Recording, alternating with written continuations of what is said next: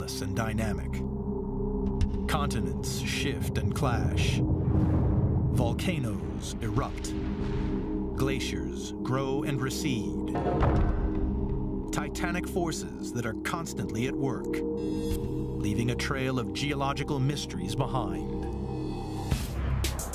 None greater than the Sahara Desert, the hottest place on the planet, a deadly wasteland that time forgot. Or so scientists believed, till they unearthed a series of startling clues. The fossils of sea creatures, freshwater shells buried in sand, ancient settlements with human remains. Clear evidence that this stark landscape hides a turbulent past. One that would alter the course of human history and provide a dramatic new chapter in the story of how the Earth was made.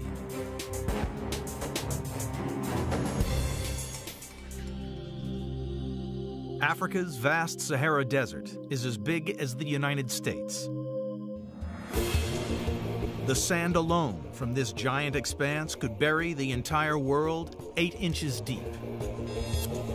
It's the largest desert and the hottest place on Earth.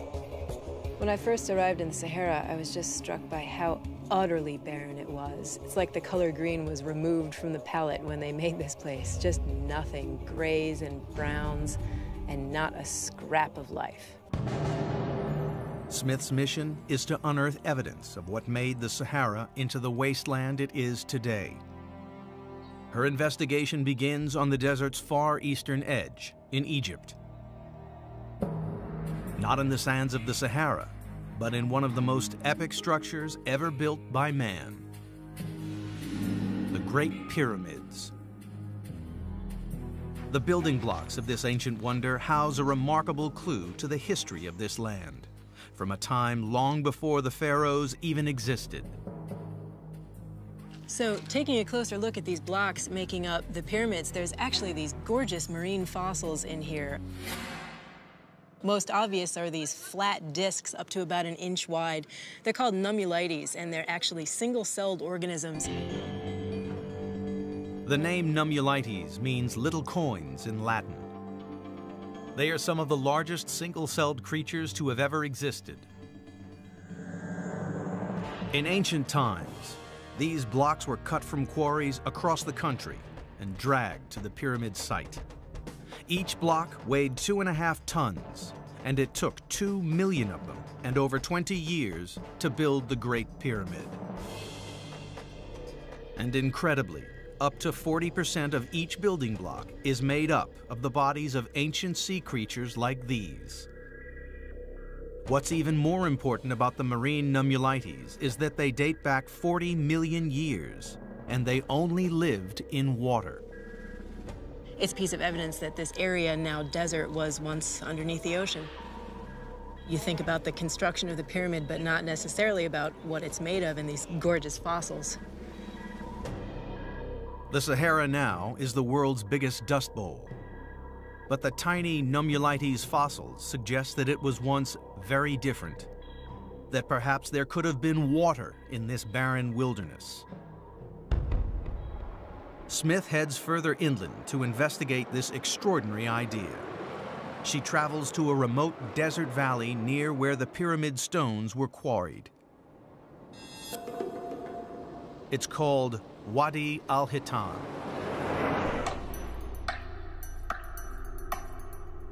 Spread out in the sand lie hundreds of fossils, first excavated in 1983. But these are nothing like the tiny nummulites. That's a whale. So here's the backbone, the vertebrae. Here's some ribs, shoulder, part of the front fin, and there are the jaws. This guy definitely did not live in a desert. This incredible fossil is a Dorudon, an ancestor of modern whales, one that died out 36 million years ago. So based on the size of these vertebrae and how much of the animal was here, it was probably about 21 feet long. This guy tells us that we were underwater. We were in the middle of an ocean. Wadi al-Hitan is Arabic for Valley of the Whales. This 12-mile dip in the landscape has the highest concentration of fossils in the world. Some were found in the desert floor, others in the cliff walls. The count so far is 400. Almost all are marine animals. Further evidence that the Sahara was once covered by sea. So here we've got the fossil of a baby whale. You can see the lower jaw down here with some teeth, and the shoulder, the backbone, some ribs, and all curled around. Actually, the tail comes right back to near the head. As if finding whales in the desert wasn't intriguing enough, there's yet another mystery to be solved. A lot of the fossils are of very young Dorudons, like this one. A delicate mesh of stone helps explain why so many baby whales died in this place. Wow, so finding that whale fossil told us we were in the ocean. These rocks actually tell us a lot more about what type of ocean we were dealing with. These are all fossilized mangrove roots. These roots would have been below water. The mangrove trees would have risen above it. Since trees don't grow out of the deep ocean, we know that this area was actually under shallow ocean at the time these rocks were deposited. Something probably that looked like the Florida Everglades, where there are mangroves growing now. Smith has discovered the shoreline of the ancient sea. The shallowness of the water could explain why there were so many young animals here. So one idea, there's a bunch of these baby whale fossils found in this area, and this would have been a shallow protected bay that maybe the whales came just to birth their young. It is absolutely incredible to see a fossilized whale in a place that right now gets less than a millimeter of rainfall a year. It's uh, as much convincing evidence for geologic change as I can imagine.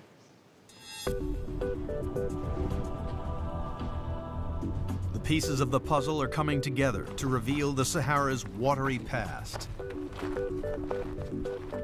So 40 million years ago, this desert would have been covered in the middle of this valley by a shallow bay, probably a brilliant tropical blue-green color. The shoreline would have been off along the horizon, some mangrove trees in the shallowest parts of it. Inland would have been a vibrant combination of rainforest and swampland. The whales would have been drawn to this ancient shore because of the plentiful supply of food. But their ocean is about to vanish. Marine fossils found in Europe and Africa are evidence that this ocean stretched almost halfway around the world and connected Asia to the Atlantic. It's called the Tethys Sea, and much of the Sahara was submerged under it. The mystery is how and when this lush water world turned into the barren wasteland we see today. The answer lies not in climate patterns, but in geology. The entire African continent is underpinned by a giant piece of the Earth's crust. It's called a tectonic plate, and 40 million years ago, in what is known as the Eocene Age, it was on the move. So at Wadi Al Hitan, we have whales swimming around in this Eocene Ocean, all the while the African plate is moving to the north. Africa collides with Europe, closing the Tethys Sea. But the African plate keeps moving. So we uplifted the northern part of, of Africa, and so the Tethys Sea recedes. And we've got this whole area of North Africa now emerged. It's out on land. The whales of Wadi al Hitan are cut off and trapped in smaller and smaller pools of water. The deadly Sahara has claimed its first victims. In the quest to discover the history of the vast Sahara Desert, geologists have so far uncovered two important clues. Sea fossils in the Great Pyramids of Egypt show these building blocks were once underwater. Whale bones reveal that a sea submerged much of the Sahara 37 million years ago. As the forces of plate tectonics pushed the Sahara out from under the sea, it created a tropical swamp. In order to figure out what made it into the wasteland visible today, scientists have to pinpoint the moment of its birth. But the clues to this mystery turn out to be hidden in the last place anyone expected.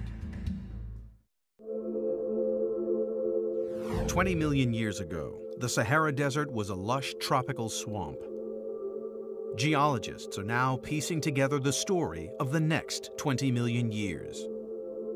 Today, the Sahara lies in what is known as the Desert Belt, a region of dry air north of the equator. Here, strong winds clear the sky of clouds and dry out the land below. It stretches through the Gobi Desert in China and across the deserts of the southwestern United States. The Sahara is the largest, and yet geologists know next to nothing about when it was created what we have are just these little bits and pieces, these snapshots of what the Sahara was like. Because the wind blows away a lot of our record, and what isn't blown away is often covered by sand. So it's kind of hard to find the rocks we need to tell the story we're trying to tell. One of the few places that shelters a clue to the Sahara's birth is the White Desert. In this hauntingly beautiful site, dramatic shapes have been sculpted out of rock. Oh, this is great. It's got that mushroom shape. These structures are called yardangs, and they are a kind of hourglass that could help measure the age of the desert. This rock is another piece of evidence that this desert was once under the ocean. It's actually a chalk made up of billions of, of little marine microorganisms. These chalks are actually really easy to erode, so that's one reason things are so beautifully sculpted by the wind. But the wind is a brutal creator. It picks up sand and hurls it at the yardang. When wind scours or sandblasts the rocks, this is the characteristic shape that we get, this mushroom shape, narrower in the middle. That's because the wind goes faster as you move up from the ground, so it can erode harder, but it has less sand in it since it picks up the sand from the ground. So where we get the most erosion, where the rock is narrowest, is where we have the best mix of, of fast wind and the most sand. 40 million years ago, the top of the Yardangs formed part of the solid sea floor. But the wind picked up once the Sahara turned to desert, and the process of carving out these shapes began. Figuring out how long that took could help pinpoint the age of the desert. It's hard to say precisely how long it would take for the wind to carve this all out. Something like this, about 15 feet high, soft rock, you're looking at maybe only tens to a few hundreds of thousands of years. But to carve out the whole Oasis Depression, you've got to need at least a million years. But geologists suspect the Sahara is older than a million years. In their search for a more accurate date, they next turn to its most iconic feature, sand dunes. Here in the Sahara, sandstorms kick up that can last for four days. The sand is hurled across the terrain. Over hundreds of thousands of years, it accumulates into dunes that can tower 50 stories high. Perhaps these mountains of sand hold the secret of the desert's great age. As soon as the climate becomes arid, you can start building dunes. And if we want to know how long that took, we can try and date the dunes themselves, but that's really hard. What's hard is that these dunes are constantly shifting. The wind that builds them also blows them away, moving them an average of 50 feet a year. To get a precise age for the desert, scientists need to follow the sand to the end of its journey. Coarse sand travels slowly and doesn't go all that far, but the finer particles will actually travel further. And so dust-sized particles actually can get carried out into the Atlantic. The Sahara is the largest source of dust on the planet. 500 million tons of it ends up in the Atlantic every year. Some of it reaches as far as Florida and creates spectacular red sunsets but much of it settles on the ocean floor, a treasure trove of information about the Sahara's past. What's wonderful about working with the ocean sediments is that they capture everything. They, they're this very faithful recorder of the sediments that are raining down from the surface. In 1995, deMenocal drilled down into the ocean floor through layers of mud dating back millions of years. Each layer of sediment is like a time capsule. Shallow levels show plenty of this dust blown over from the desert. So deMenocal extracted deeper core samples from over a million years ago. Still, there was desert dust. Finally, he dug down to a layer that was laid down three million years ago, and there the dust finally stopped. It had taken a voyage to the ocean floor to uncover the turning point from humid tropical landscape into searing desert. That's a pretty amazing change. You don't think of something as large and expansive and, and fixed as the Saharan desert as being something capable of such profound changes. And yet this is what the geologic record was telling us. deMenocal had finally solved the riddle of the sands. The Sahara has been a desert wasteland for three million years. In the search to discover the age of the Sahara, geologists have unearthed two startling clues. Yardangs show that windblown sand has been blasting across the desert for at least one million years. Deep sea cores give a more exact date. The Sahara first turned from swamp to sand three million years ago.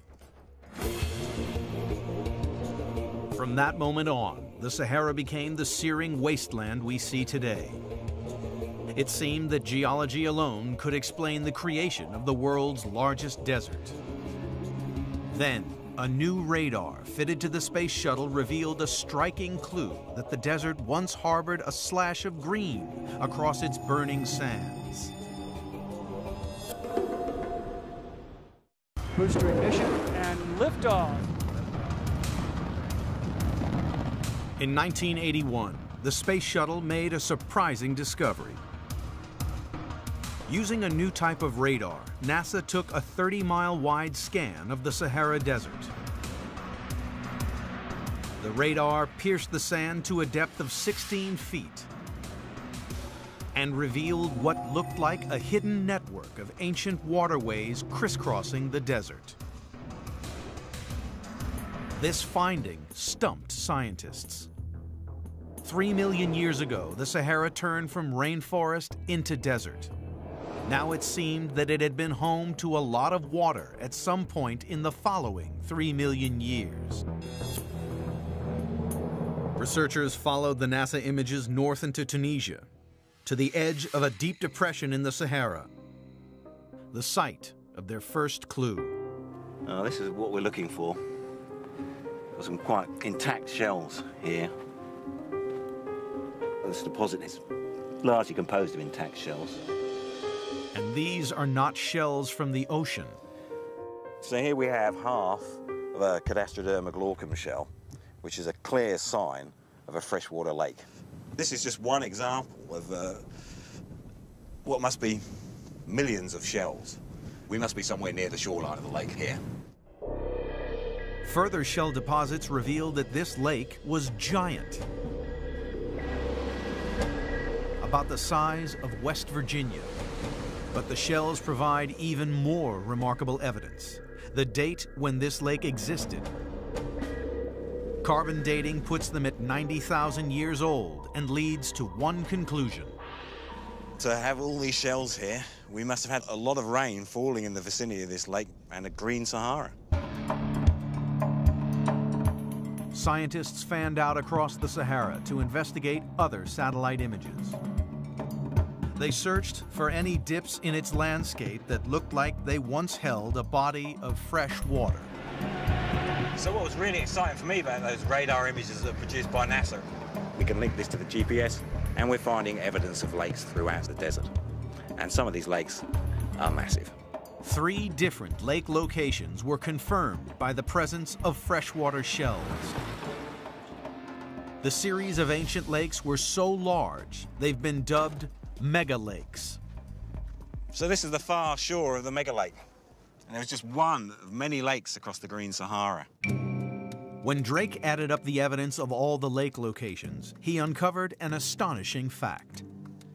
Okay, so if this is North Africa here, and this is the edge of the Sahara Desert, so we're here in Tunisia with a mega lake here. And we know there's another mega lake here in southern Libya, an even larger one here in Chad. If they all meet their maximum size, they would have covered 10% of the Sahara. That would have made them three times larger than the Great Lakes. What is now the biggest desert on Earth was once home to some of the planet's largest bodies of fresh water. Sudden changes in climate have been connected to everything from volcanic activity to meteors hitting the Earth. But climate researcher Peter deMenocal had a hunch this wasn't the first time it had happened. He turned to his archive of deep ocean cores. Our approach was to use deep sea sediments as this continuous tape recorder, if you will, of past climate change in Africa. By looking at the levels of desert dust in cores dating back hundreds of thousands of years, he discovered the Sahara had changed more than once. When we first collected these measurements, I really kind of almost fell back in my chair because what we saw was there are many switch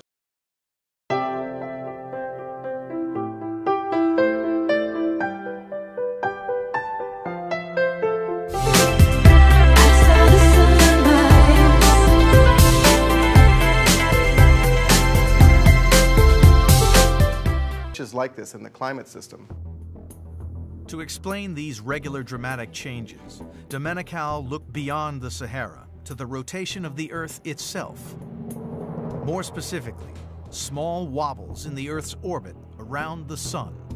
The theory is that the wobble causes the Earth to tilt slightly. So the monsoons which drench southern Africa today shift up, pouring rain onto the dunes of the Sahara. Crucially, these wobbles occur every 20,000 years. So there's this perfect one-to-one -one match between when Africa was wet and the stage of the wobble cycle. And this goes back millions of years. Each time the rain belt moves up, the landscape is transformed and the desert turns green. To me, the, the single most impressive thing about the Sahara is how small fluctuations in something as simple as a wobble in the Earth's orbit can lead to these really just totally dramatic changes in the climate of a region that's so large. Scientists now had evidence of how and why the Sahara turned green. They knew that giant lakes covered much of the desert, but they had no proof they were connected. Were these vast isolated rain pools or part of an interconnected river system as suggested by NASA's radar images? Nick Drake gets word that in 2009, archaeologists have made an important discovery that supports the river theory. Stone tools found not far from the site of the megalake in Tunisia. The first step is to identify the shoreline of the ancient lake. Ah, oh, now this is looks good. So, we've got some freshwater mollusks. These tiny shells are a good sign of the lake. Now he searches for what may have been drinking the water when the mega lake existed. We have a, what looks like a part of a jawbone of a small herbivore. You can see three teeth running along there. Some sort of gazelle. So animals must have existed here in the desert when it was green. Okay, so we've got a, a stone tool here. It's become blunted and they've retouched it with a, a lot of very fine flakes off the edge. The fact that we've got stone tools and we've got dead animals suggests hunting.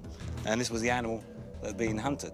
And then we've got water, so people sitting around a water hole waiting for animals to come to drink and then killing them, eating them, leaving them behind. It's an important find. A Stone Age tool shows people lived on the shore of this ancient lake and 90,000 years ago was a turning point, not just in the story of the Sahara, but in the history of humanity itself. We are all descended from one group of people in East Africa, the birthplace of humankind. Sometime between 80 and 120,000 years ago, modern humans started the long journey out of Africa no one knows for certain what route they took.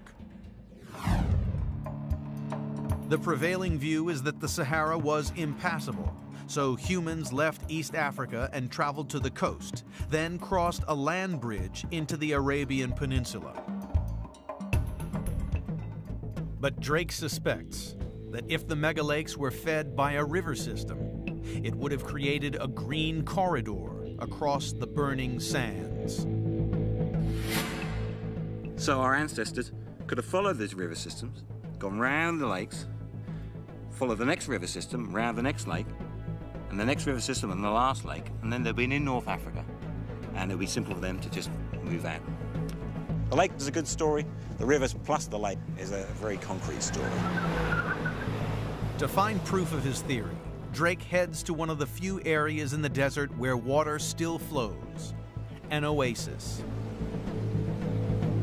He finds a small spring that shelters a valuable clue. Caught some. Great. Cichlid fish. Nearly all cichlid fish are found south of the Sahara Desert. This particular type of cichlid is the only example north of the Sahara Desert. This cichlid bears a strong resemblance to its closest relative that lives in Lake Tanganyika. But this lake is almost 3,000 miles away on the other side of the Sahara. So the big question is, how did it get here? And uh, the most obvious answer is that it swam across the Green Sahara. Modern humans, who could live in lots of different types of environments, would have presumably found it very easy. A darn sight easier than this fish.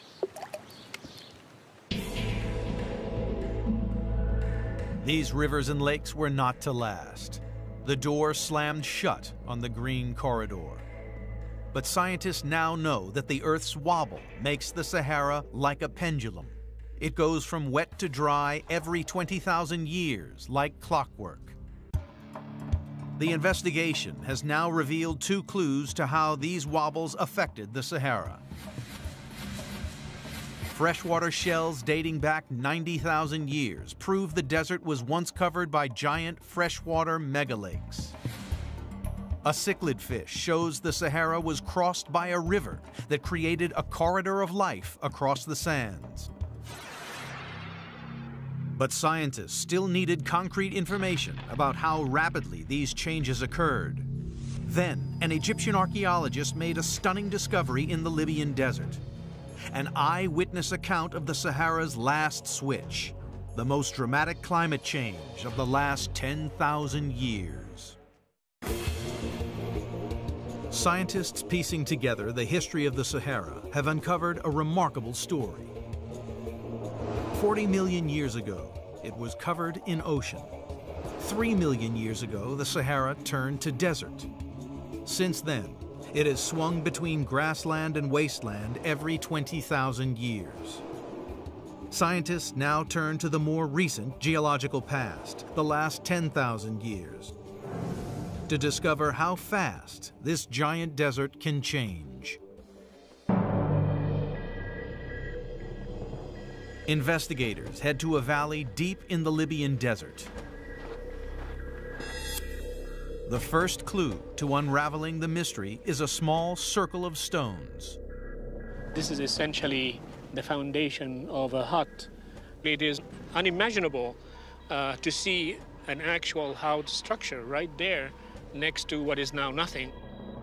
Hassan's discovery is striking evidence of human habitation.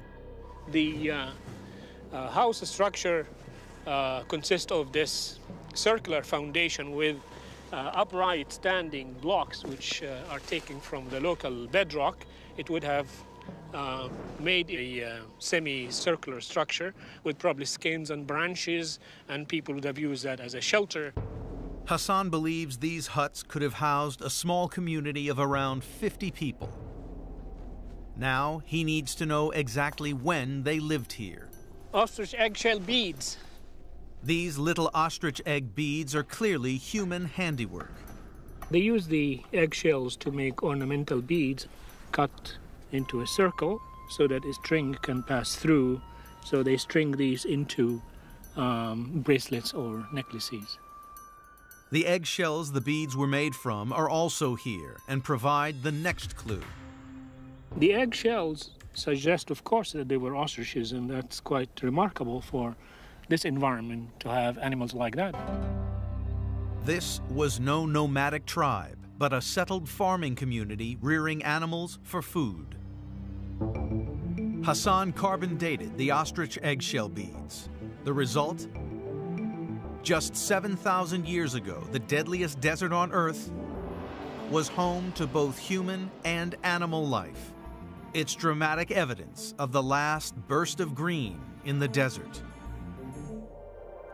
A dip in the desert floor provides a clear sign that rain from the monsoon fell here. What we have here is the evidence of a deep lake with mud deposited. This mud indicates a body of water that could have supported a settlement of people. When the lake is deep, as we can see from these layers here, then there would be a lot of vegetation, a lot of animals, and uh, people would have a very good time. At sites all across the Sahara, scientists have excavated similar evidence of life. The remains of elephants and gazelles, hippos and crocodiles. Remarkable cave paintings even show people swimming. Elsewhere, human bones have been found, carefully buried in what were lakeside graveyards. Analysis of these bones reveals they date from between 10,000 and 6,000 years ago. The question now for scientists was how quickly the Sahara changed from bountiful back to bone dry. Earlier, deep sea cores had provided evidence of the moment the Sahara first turned to desert three million years ago, and of how, since then, a wobble in the Earth's axis has made it swing like a pendulum between desert and grassland. Now, climate researcher Peter deMenocal's on the hunt for the Sahara's last switch from green to desert, one that occurred in the last 10,000 years. To a geologist, opening this core is like a portal back in time. Wow, that's amazing. It's much, much redder in the upper part of the core. Laid down flat, every quarter inch of sediment in the core represents 200 years. The color difference in the sediment is subtle, but to a practiced eye, it's a big clue.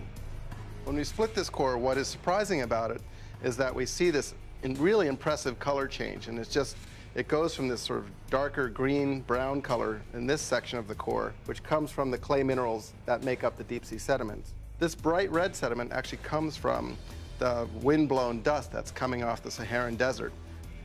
As you move along this core, you can see this color maintains itself further up and up in the core. So right now we're about seven or 8,000 years ago. Boom, here is the drawing of the Sahara. You can put your finger on it in this core right here at five and a half thousand years ago. Crucially, the proximity of these two layers reveals how quickly the switch happened. The transition from a very well-watered, wet Sahara that was completely vegetated to one that was much, much drier, that climate transition in this core occurred within one or two centuries. Scientists knew that the Sahara was an ever-changing environment. Now, for the first time, they had a sense of just how fast it changed. As the Earth wobble shifted the rain belt away, the return to desert was swift and deadly.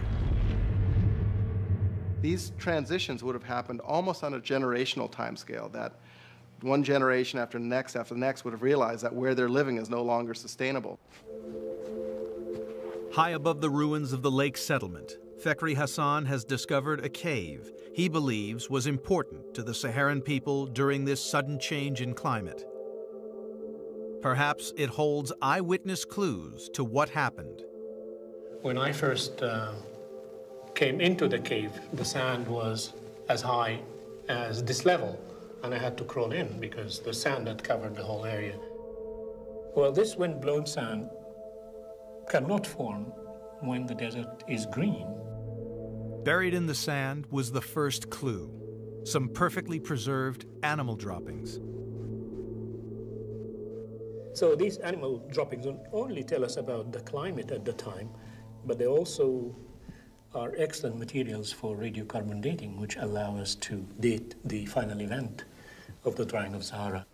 These goat droppings, covered in sand, reveal a time when a farming community was overwhelmed by desert. Hidden in the back of the cave is a clue that confirms people sought shelter here. The cave has a very interesting feature, which is the prints of hands. So this is excellent uh, evidence of the people that lived here. The next clue suggests that around them, the Sahara was beginning its relentless transformation into desert.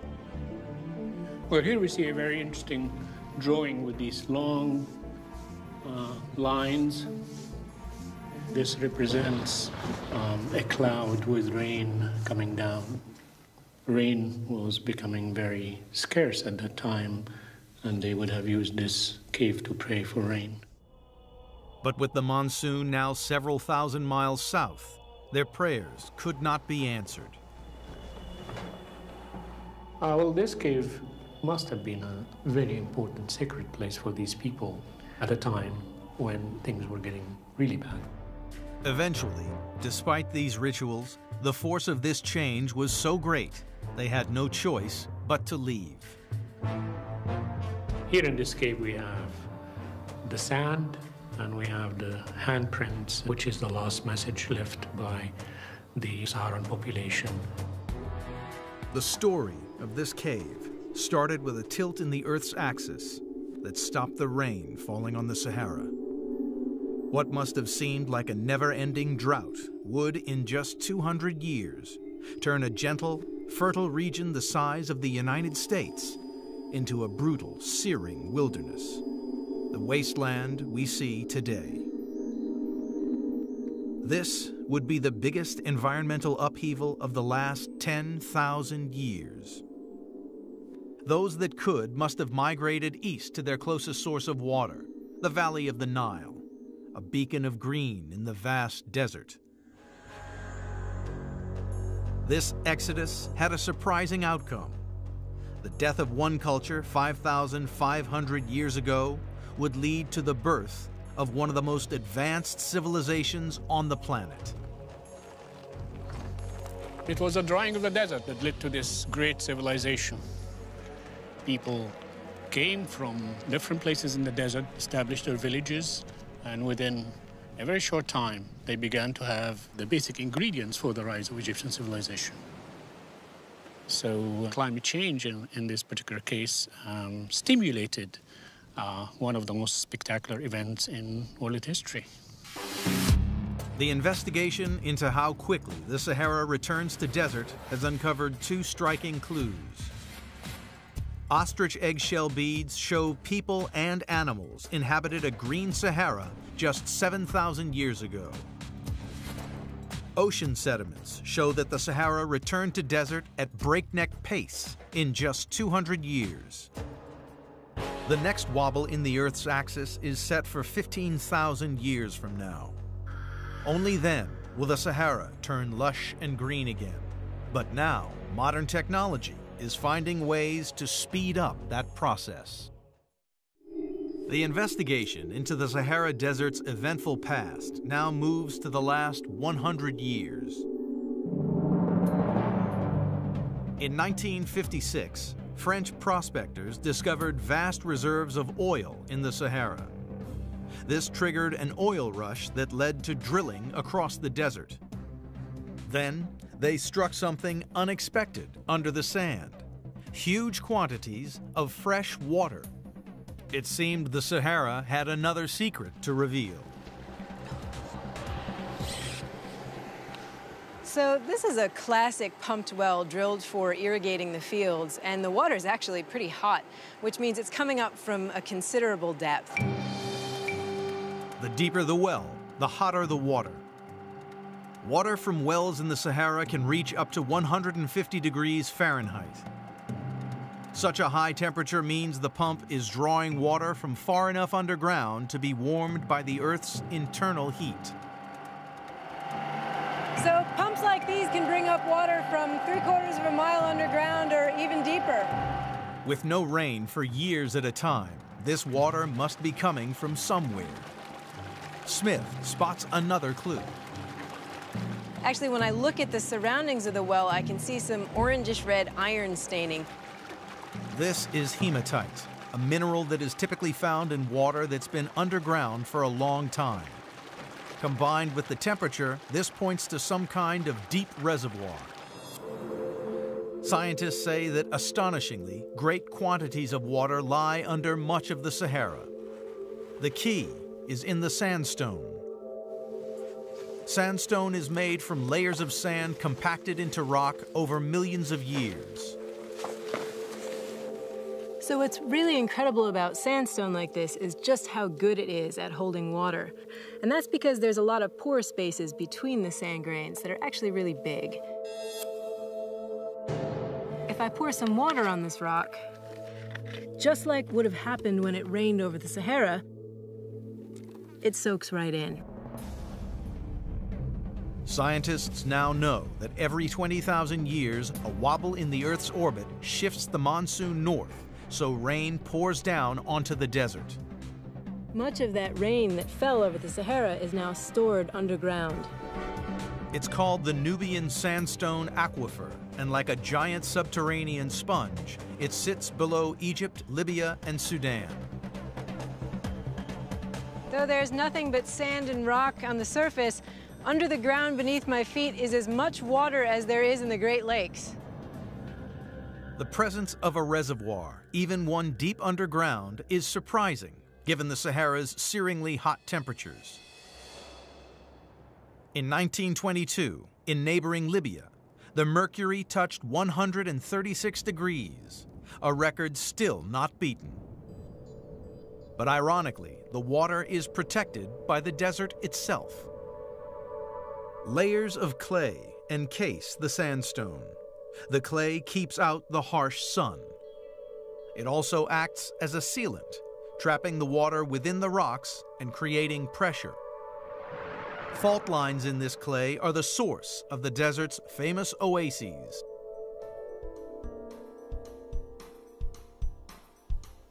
So this is a natural spring where water is coming up from the Nubian aquifer under its own pressure. This is actually fossil water. It's been dated to be up to a million years old. This reserve of water is a legacy of the Sahara's lush green past, the remains of its giant lakes and rivers. And this is just one aquifer. Scientists are now using ground penetrating radar to locate and map other aquifers across the Sahara. They hold the promise of even more fresh water. This new technology offers hope that the desert may once more turn green, reclaimed for agriculture and farming. If all goes to plan, eventually there will be 200 wells here. But drilling could prove a short-term solution. This is fossil groundwater. It's not being renewed. So eventually, you're going to run out. Water that supported prehistoric occupants in the area and accumulated over a million years is potentially going to be gone in less than 100. Once the underground water dries up, the desert will have to wait another 15,000 years before once more the Earth's wobble turns it green again. The mystery of what created and changed the Sahara Desert has revealed a turbulent past. Whale bones in the desert show that 40 million years ago, the Sahara was a seabed. Deep ocean cores containing windblown sand reveal the date it dried up, 3 million years ago. Freshwater shells show that 90,000 years ago, a wobble in the Earth's axis created giant lakes and rivers and turned the Sahara green every 20,000 years. Ostrich eggshell beads indicate that just 7,000 years ago, the Sahara enjoyed its final burst of life before returning to desert. The secrets of the Sahara have finally been revealed. This desert is not a static wasteland. It's dynamic and full of life, capable of blossoming into lush green terrain. This vast, majestic land continues to shift, change, and evolve, much like the Earth itself.